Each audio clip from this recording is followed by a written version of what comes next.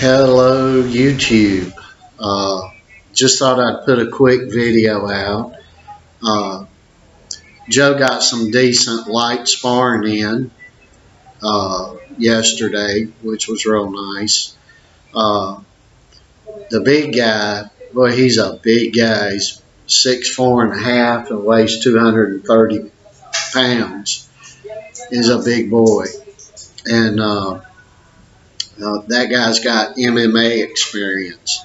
So we had a little bit of a, I don't know, minor situation.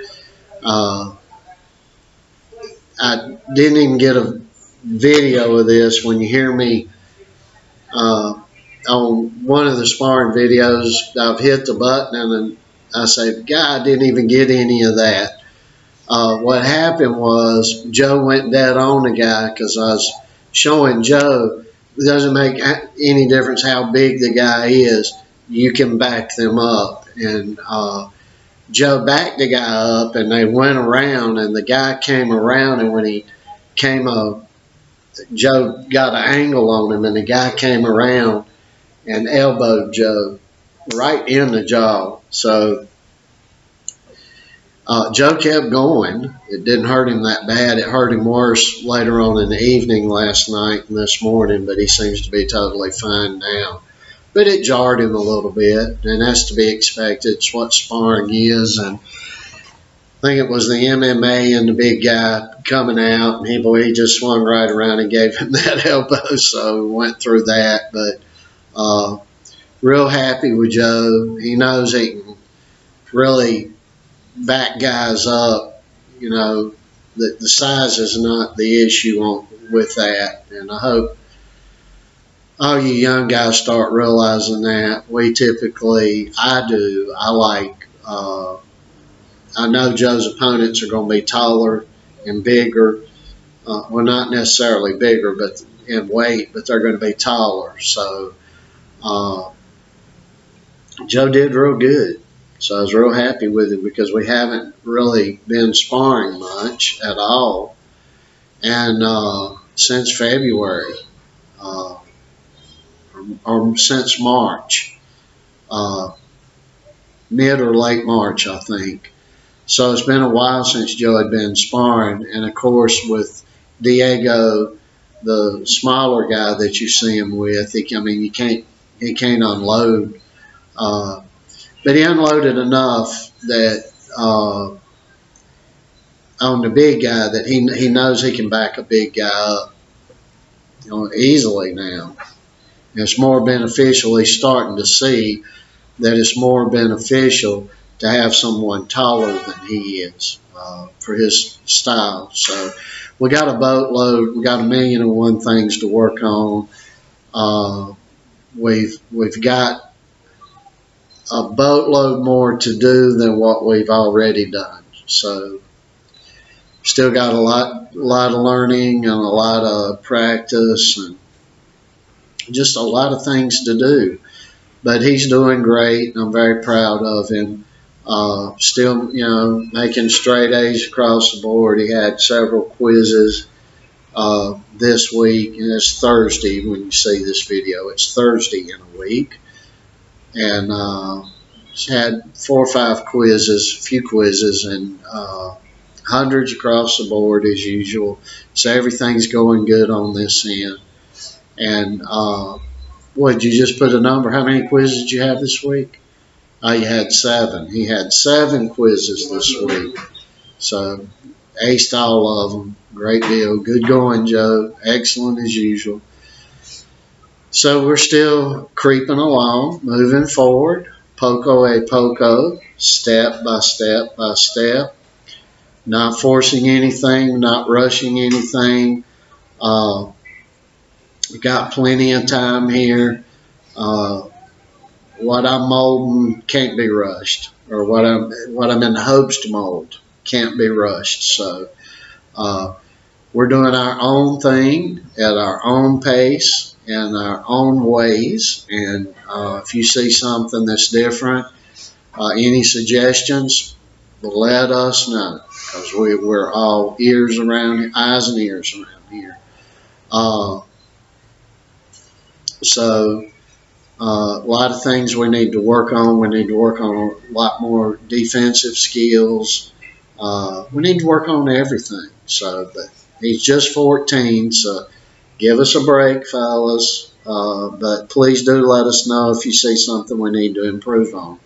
As long as you're not ugly about it, we will say thank you very much and much love to you for it. So, uh, another thing I wanted to mention right quick, and this came up because our friend Danny Christie, and he is the uh, light heavyweight bare knuckles champion of the United Kingdom.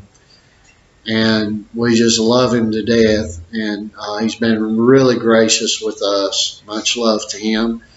Uh, he had brought up in a video the other day, and you can find his channel at The Real Danny Christie on YouTube.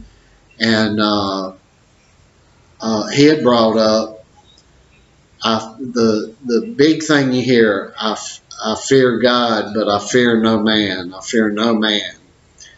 And he's correct on that. There couldn't be nothing further from the truth. Uh, I just wanted to give an example of that because I'm glad he brought that up.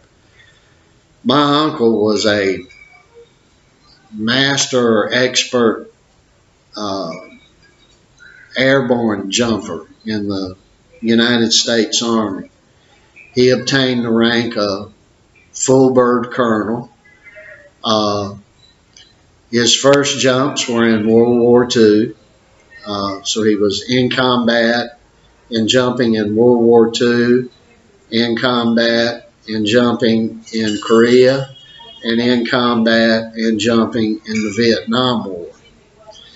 Uh, I want to give you young boxers just a little interesting story that he told me when I was a little boy. He, I spent a lot of time with him after my dad died, and uh, he was telling me a story that uh, he had went up and was fixing to jump, and you know they got the cords up there and the line that goes across, and the guy helps him out. There'll be a sergeant usually up front. He'll help you right on out, irrespective of your rank, because they have to keep those lines moving. And hence, you see the guys jumping out one, two, three, four, and they just keep coming. Uh, there are many reasons for that I won't go into, but uh, they have to hightail it out of that plane quickly. Well, my uncle was up one day and they were doing an afternoon jump, and uh, he unclicked his thing and just sat there, and the guys went by him and went on out. Now, by this time, he was a lieutenant colonel, and uh, the sergeant, you know, everybody got out, planes going on. Uh, the sergeant walked up to him and asked him, said, begging the colonel's pardon, but you feeling okay today, sir? And my uncle told him, said, son, I'm feeling fine. Uh, and that's the problem. I'm feeling so good I'm not scared. So therefore, I'm never going to jump out of a plane again. And he didn't. He didn't jump out of a plane again.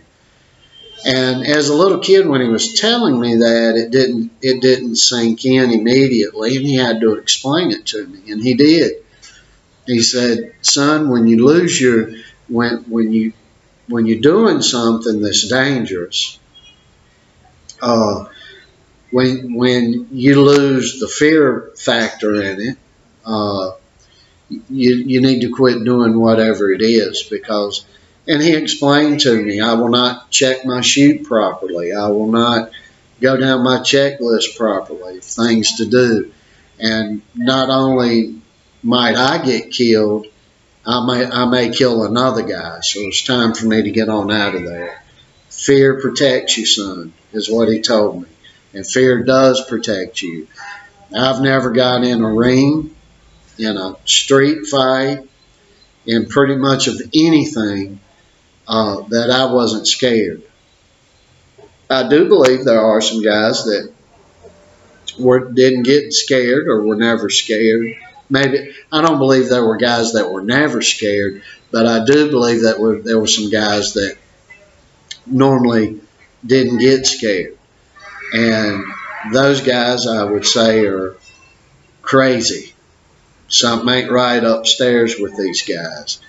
And uh, typically, uh, these are the guys that'll go in the ring and get the crap beat out of them. Uh, the one out of 2,000 boxers, bare knuckle guys, MMA guys, whatever, uh, the one out of all of them will be the guy that gets nailed, gets caught, and done just like that. Uh, fear is what protects you, and you need it. Uh, you need to feed. You need to feed yourself off of that fear, and it will help you. You got to flip the script on that.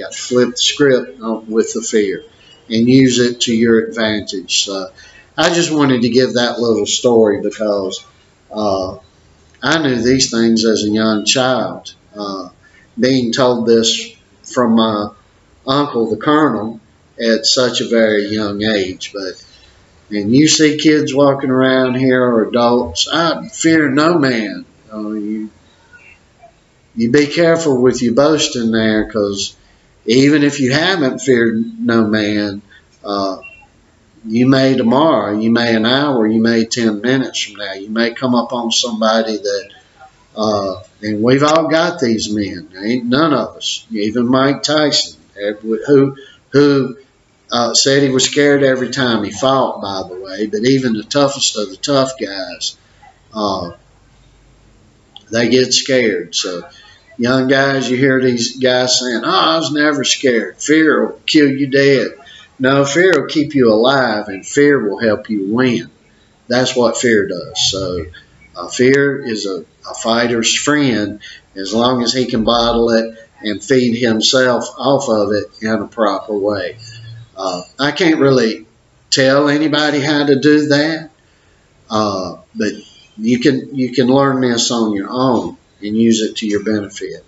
So I just wanted to give my two cents on that. So uh, and yes, Joe was scared when he got in there with the big, big man, and he should have been. And uh, that was normal.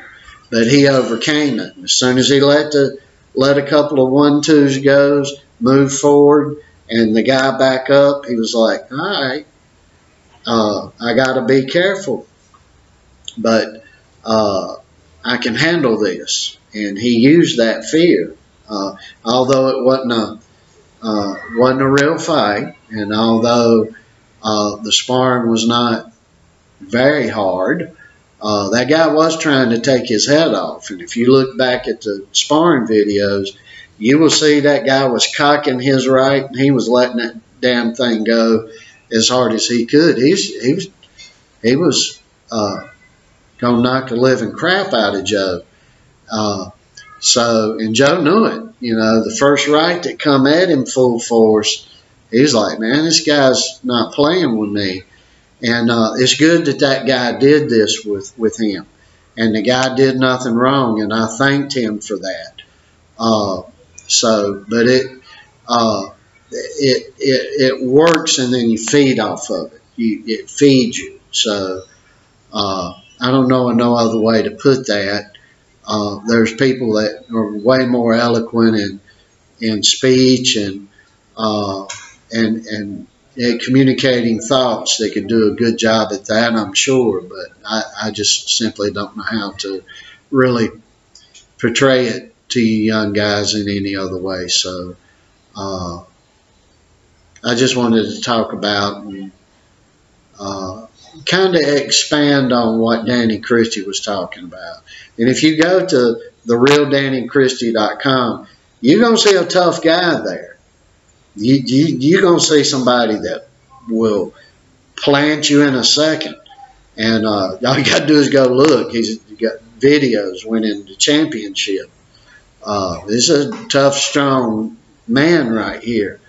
And uh, so look, and his bare knuckle. So you young boxers, when you you hear somebody like that telling you, if they're feeling this way, the rest of the gang's feeling the same way. You, might have the one in 2,000, the one in 5,000 that's a complete nutcase, but they won't make it long, not in the combat sport field. Uh, they won't make it long. And they don't make it long out here in the street either if they fist fighting or knife fighting or things of, uh, of that such. So uh, fear is a good protector for you. So uh, don't buy into uh, this thing that oh I shouldn't be have fear. No, you you need it. You need to feed off of it. It's a good protector for you. It will help you win. So much love to everybody, and remember, uh, if you get a knock on the door your heart, uh, make sure it's the real Jesus Christ, and when you know it is, and you'll be able to figure it out, let Him in, because you're in you in store for uh, a lot better of a life, and not a perfect life, you know, and you'll have more trials, you'll still go through the tribulations that you go through, but you, you can get a peace to, that will build and develop on itself and a character that will build and develop on itself uh, or upon itself that will help you through life, get you through things. So, uh, and not to mention everlasting eternity in life and uh, and goodness. So, uh, just wanted to say that. So, blessings to everyone, and we will check you later.